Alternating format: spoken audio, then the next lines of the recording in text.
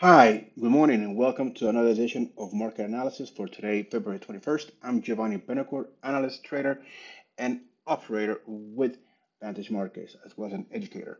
Well, the talk of the town through all of 2022 was how badly stocks were doing, but that's been reversed over the last seven weeks.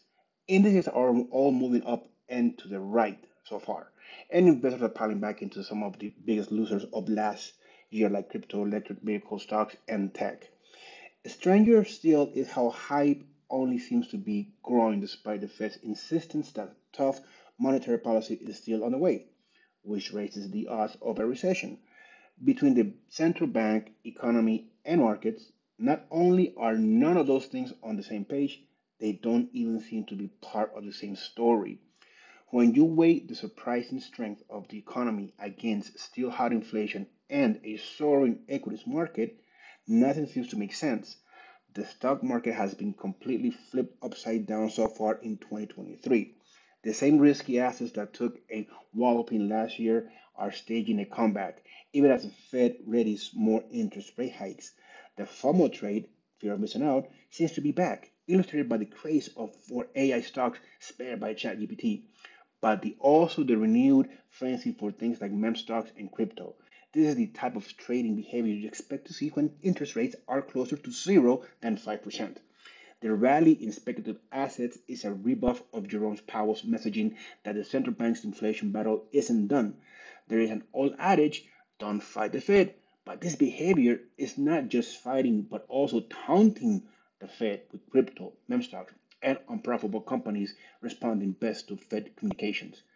Don't forget, too, that the Fed has been reducing its balance sheet by roughly 100 billion each month, but markets are still acting like they aren't having liquidity pulled out from under them. The errant investor behavior foreshadows a plunge in the stock market. Based on historical regressions, the move in the two-year interest rates since the very first Fed meetings should result in a 5 to negative 10% sell-off in the Nasdaq. The risk reward of holding bonds at this level of short-term yields looks better than equity than any time since the great financial crisis. Even though it's at the end of the week, the Fed's preferred inflation metric is the place to start. The core personal consumption expenditures PCE price index due Friday will reveal just how sticky or otherwise inflation is proving.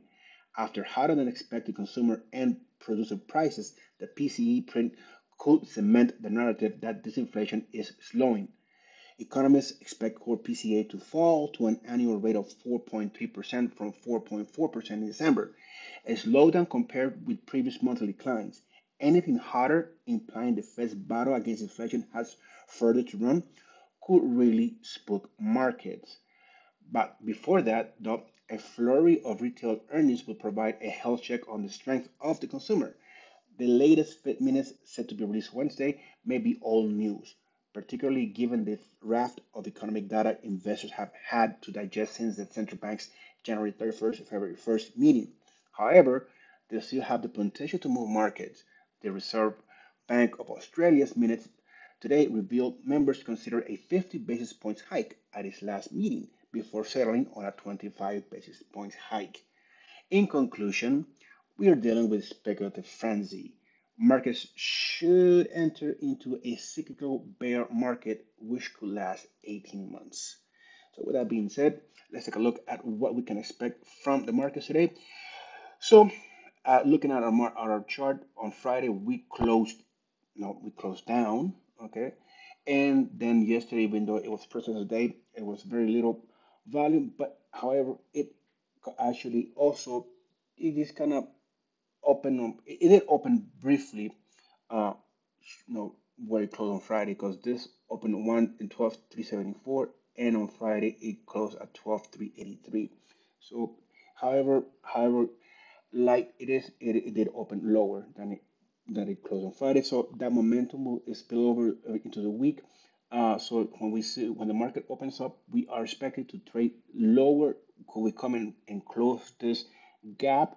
We have the 21 moving average above a market, so that could act as a resistance, a dynamic resistance. The RSI is pointing lower, so we could come in, try attempt to close this gap, and then just come back, come right back down to towards 12,000.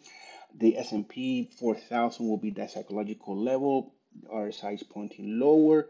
The Dow is the one that's really uh, gonna be opening to a downside. 33,350 is my support. I'm pretty more sure that we will reach that. So I'm selling all the equities. Crude oil is really, I'm looking for actually to crude oil for crude oil to trade within yesterday's range.